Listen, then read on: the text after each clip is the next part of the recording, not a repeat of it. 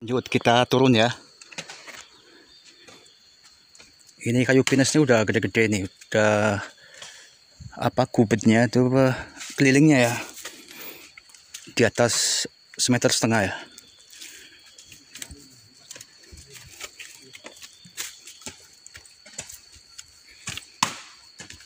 Hati-hati.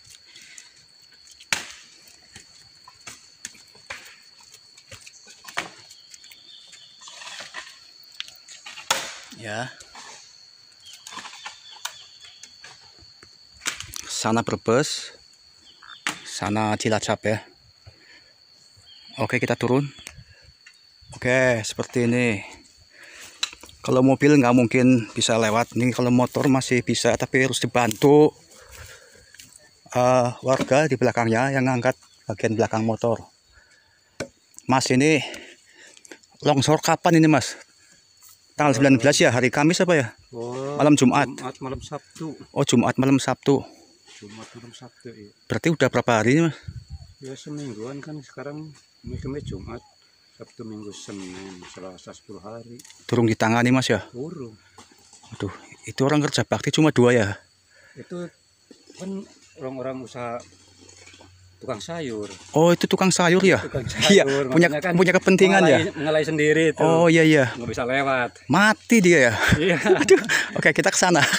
Oke, Oh, ini. Bro, ini suka apa lewat sini saja sih. ini sa- saya ngelihat nih kerja bakti cuma dua orang nih.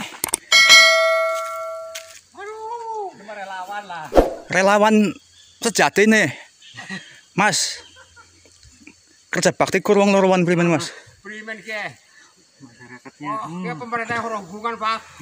Ya Primen bu ke? mungkin terlalu banyak bencana ya mungkin ya. Ini orang dua aja ini kerja bakti di sini pak. Aduh, Aduh.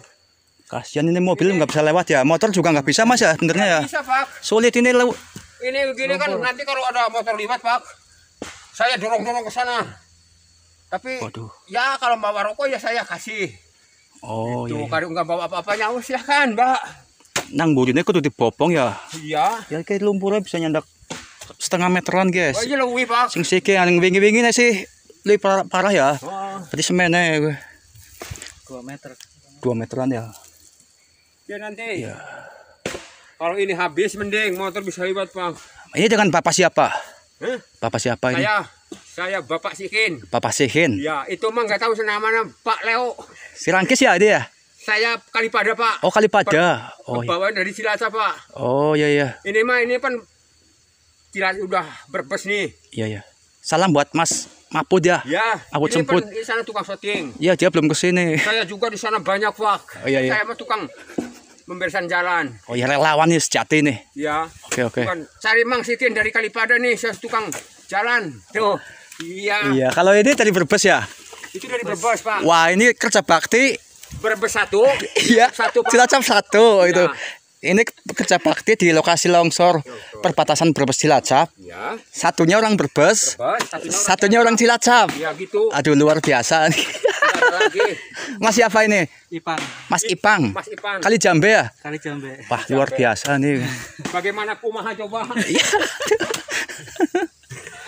Iya. Wah ini berat sekali titik longsornya bukan cuma satu nih. 5 Tuh di titiknya bawah kan ada lagi. Iya ada lima titik ya. Ya, lima Iya. titik, Pak.